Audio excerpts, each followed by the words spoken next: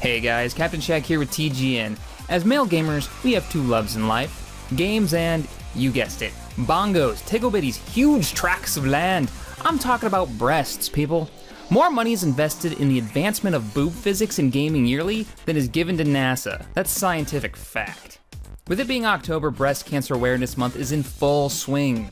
So, how can you become a soldier in the war to save the bodacious tatas around the globe? Well, if you're a PlanetSide 2 player, you can join three of the PlanetSide's biggest and most badass outfits in an organized 24 hour playathon to raise money for breast cancer research.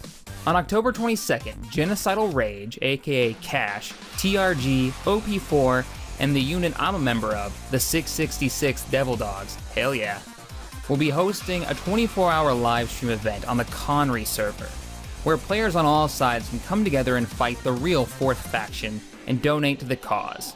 The event will be using the GoFundMe site, there's a link down below, where players can show their support by pledging to support their favorite streamers or even placing bets on competitive events during the stream.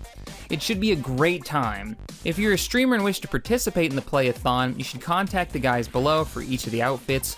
All the information is down below. Stay tuned here on TGN for an announcement on our plans to suit up in our pink camo and join in on the fun. Thanks for watching, and I hope to see you guys in the field.